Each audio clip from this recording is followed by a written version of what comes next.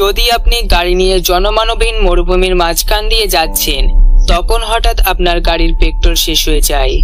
Help করার মতো কেউই নেই। তাছাড়া হিংস্র জন্তু জানোয়ারের ভয়টা সব থেকে বেশি। এবং আপনার কাছে খাবারও নেই। তাহলে আপনি তখন কি করবেন? কীভাবে সেখান থেকে বেঁচে ফিরবেন? তো যাই হোক, এরকমই এক সার্ভাইভাল ঘটনা আজ শেয়ার করব, যা শুনলে আপনার গায়ের লোম শিউরে উঠবে। তো চলুন শুরু করা যাক আজকের কাহিনী। গল্পের শুরুতেই আমরা একটা মেয়েকে দেখি। মেয়েটির নাম ছিল লিজা। লিজা হন্তদন্ত হয়ে এয়ারপোর্টে এসে তার ফ্রেন্ডকে খুঁজছিল। কিছুক্ষণ খোঁজার পর তার ফ্রেন্ডকে এসে দেখতে পায়। তার ফ্রেন্ডের নাম ছিল ওয়েড। ওয়েড অনেক রেগেছিল, কারণ সে লিজার জন্য অনেকক্ষণ যাবৎ অপেক্ষা করছিল। আসলে তারা দুজন অফিসের ছুটি কাটানোর জন্য ঘুরতে যাচ্ছে। এরপর ওয়েড গাড়ি নিয়ে আসে আর লিজা গাড়িতে বসে পড়ে।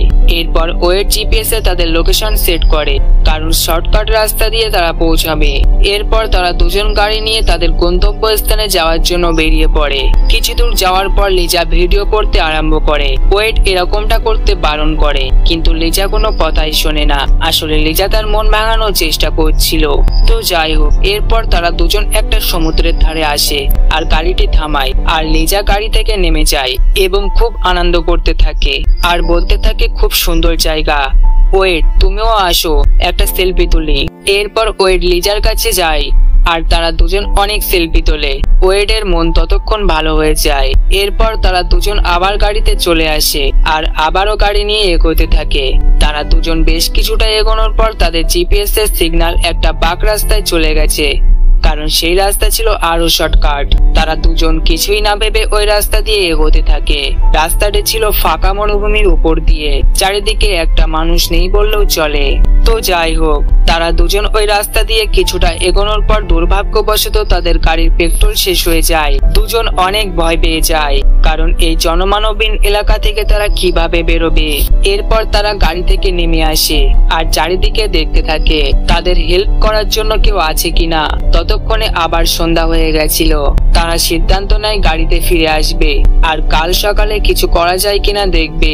এরপর তারা দুজন তাদের গাড়ির কাছে চলে আসে, কিন্তু তাদের গাড়িটা আর খুঁজে পায় না। দুঃখের বিষয়, তারা রাস্তা ভুলে যায় এবং অন্য জায়গায় চলে আসে। তারা অনেক চিন্তিত হয়ে পড়ে, কারণ তাদের কাছে কোনো খাবারও ছিল না। আর বিশেষ করে জন্তু জানোয়ারের ভয়টা ছিল বেশি। এরপর তারা দুজন একটা জায়গায় বসে আর নানা কথাবার্তা বলতে বলতে ঘুমিয়ে পড়ে আর রাত পার করে দিন চলে আসে। সকালে উঠে ওয়েট দেখতে পায় লিজা অজ্ঞান হয়ে পড়ে আছে। কারণ কাল রাতে ঘুমানোর সময় তার গায়ে একটা বিষাক্ত বিছে কামড়ে দেয়। এরপর ওয়েট অনেক চিৎকার করে ডাকতে থাকে, লিজা ওঠো লিজা ওঠো, কেউ আমাদের সাহায্য করো। কিন্তু কোনো ফল না হয় নিজেই লিজার শরীরটাকে কাঁধে নিয়ে এগিয়ে যেতে থাকে। কিছু দূর এগিয়ে যাওয়ার পর লিজাকে একটা জায়গায় রাখে, কারণ উপর দিয়ে একটা হেলিকপ্টার উড়ে যাচ্ছিল। এরপর ওয়েট তার শার্ট খুলে হেল্প হেল্প বলে চিৎকার করতে থাকে। কিন্তু ততক্ষণে হেলিকপ্টারটা অনেক দূরে চলে গেছিল। বাঁচার জন্য একটা মাত্র আশা ছিল, কিন্তু সেটাও এখন আর নেই। এরপর ওয়েডের শরীর একটু খারাপ হতে থাকে, কারণ দুই দিন কিছু না খাওয়ার জন্য। এরপর ওয়েড একটা লাঠি নিয়ে দাগ কাটতে কাটতে সামনের দিকে এগিয়ে যায় খাবারের খোঁজে। ওয়েড দাগ কাটছিল কারণ রাস্তা ভুলে গেলে চিনে আসতে সুবিধা হবে তাই। ওদিকে ওয়েড কিছু দূর এগোনোর পর তার ব্যাগটা পেয়ে যায়, আর ব্যাগ খুলে জল খেতে থাকে। আর জল খাওয়া হয়ে গেলে লিজার জন্য কিছুটা জল নিয়ে আবারও সে দাগ দেখে ফিরে আসতে থাকে। ওদিকে লিজার জ্ঞান ফিরে আসে। আর জ্ঞান ফিরে সে ওয়েটকে না দেখতে পেয়ে অনেক ভয় পেয়ে যায়। তাই লিজা ওয়েটকে খোঁজার জন্য সামনের দিকে এগিয়ে যায়। কিছু দূর এগোনোর পর সে আর হাঁটতে পারছিল না, কারণ তার শরীরটা খুব খারাপ ছিল। আর বিশেষ করে ভীষণ জল তেষ্টা পেয়েছিল। তাই লিজা গাছের পাতার রস চুষে খেতে থাকে। এরপর ওয়েটকে দেখানো হয়। সে আবার লিজার কাছে ফিরে আসে। কিন্তু লিজাকে সে এখানে আর দেখতে পায় না। ওয়েট অনেক ভয় পেয়ে যায়। এরপর ওয়েট লিজাকে খোঁজার জন্য সামনের দিকে এগিয়ে যায়। কিছু দূর এগিয়ে যাওয়ার পর তাদের গাড়িটি দেখতে পায়। গাড়ির ভিতরে গিয়ে সে কোনো খাবার ও জল কিছুই পায় না। এরপর ওয়েট গাড়ি থেকে নেমে আসে। আর ইঞ্জিনের ঢাকনাটা খোলে আর সেখানে থাকা জল খেতে শুরু করে। জলটা খুব একটা ভালো ছিল না। এই জল খেয়ে ওয়েট বমি করতে শুরু করে। এরপর ওয়েট লিজাকে খোঁজার জন্য বেরিয়ে পড়ে আর ততক্ষণে রাত নেমে আসে। নোংরা জল খাওয়ার ফলে ওয়েটের শরীর অনেক খারাপ হয়ে যায়। তার পেটের মধ্যে ভীষণ যন্ত্রণা করছিল। এরপর ওয়েট মাটিতে লুটিয়ে পড়ে। এরপর লিজাকে দেখানো হয়। লিজা ওয়েটকে খুঁজতে খুঁজতে সে দাগটি খুঁজে পায়। লিজা ভেবে নিয়েছিল এটা ওয়েডের কাজ, তাই সে দাগ দেখে এগিয়ে যেতে থাকে।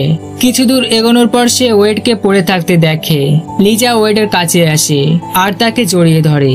আর বলতে থাকে, তুমি ঠিক আছো? ওয়েড ঠিক ছিল না। তাও সে বলে, আমি ঠিক আছি। এরপর ওয়েডের মুখ থেকে রক্ত বেরোতে থাকে। ওয়েড বলে, সব দোষ আমার। লিজা বলে, না, তোমার কোনো দোষ নেই। তুমি শুধু বিশ্বাস রাখো। আমরা ঠিক এখান থেকে বেরোতে পারব। এরপর ওয়েড আস্তে আস্তে মৃত্যুর কোলে ঢলে পড়ে। লিজা অনেক কান্না করতে থাকে। আর কান্না করতে করতে অজ্ঞান হয়ে যায় সেখানেই। এরপর লিজার যখন জ্ঞান ফেরে লিজা দেখতে পায় তাকে কেউ জল খাওয়াচ্ছে। সেটা আর কেউ না। সেটা হলো ওয়েড। লিজার চোখে মুখে জল দেওয়ার পর তার হুশ ফেরে।